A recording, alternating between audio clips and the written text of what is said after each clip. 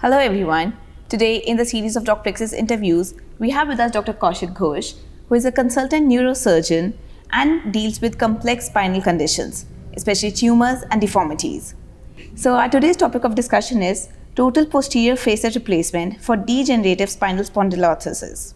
I mean, this is relatively new technique. Uh, it is an implant which is devised uh, with the purpose that we treat spinal spondylolisthesis slightly differently. The standard treatment for spinal spondylolisthesis, especially the lower grades mm-hmm. with stenosis, those who have symptoms, mm. the common symptoms are difficulty in walking, and it's a fairly common conditions, especially in slightly elderly age group. Uh, and the present treatment standard is we either decompress the spine to give more space to the nerve mm. or we decompress along with stabilize the spine with some rods and screws. Mm. So that has a relatively good outcome.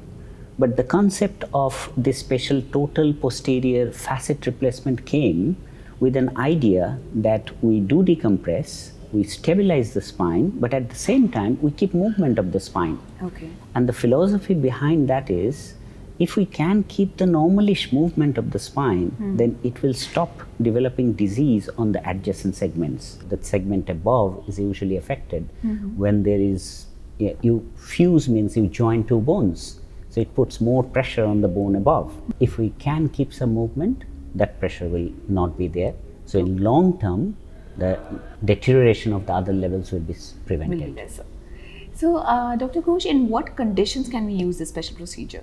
Yeah, as I said, it's it's still quite new. Yeah. And it's restricted now to lumbar disease mm-hmm. degenerative mm -hmm. conditions in grade 1 and grade 2 spondylolisthesis. We can't use it in higher grade. Mm -hmm.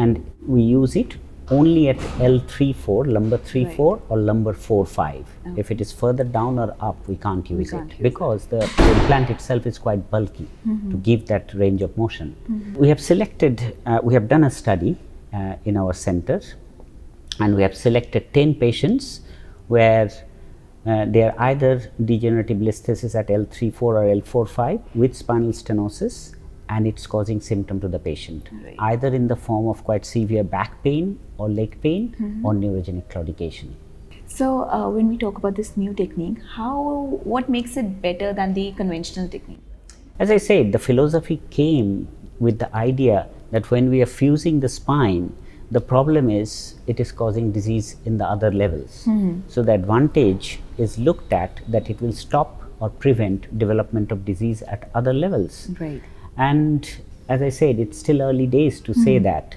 It's only three centers in the world have done this. Mm-hmm. One in Israel, and one in Southampton in UK, and we are the third center in Preston, uh, okay. uh, in Lancashire Teaching Hospital. Mm-hmm. We have done this study on 10 patients. Congratulations, Dr. Ghosh, on being the third center. So I hope it gains more uh, recognition on that. So, what are the problems faced when we do such conditions?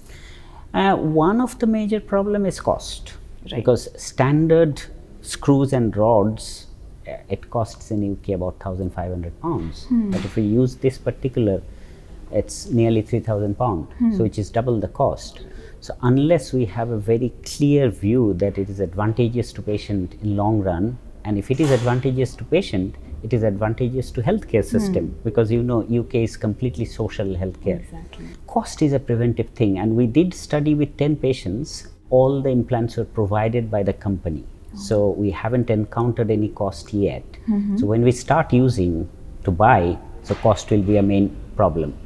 And it's a relatively new procedure. So in that sense, we still don't know the long-term outcome. Okay. So it is difficult to say right now.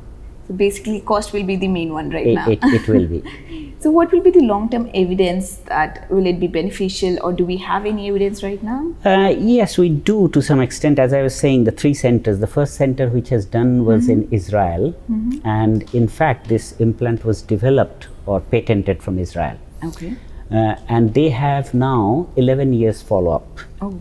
And in their study, in 11 years, they have shown none of their patient has developed adjacent segment disease. Okay. So they are serving the purpose. Mm-hmm. So if that's true, in long term, it should gain uh, popularity. More popularity. I'm sure it will, I'm sure. Let's hope. So, what will be your take home message, Dr. Ghosh? Take home message it's still early days. Uh, I we, we still don't have very clear view that it is advantageous or not. The studies so far done has shown it is good enough compared to the conventional method with decompression and stabilization.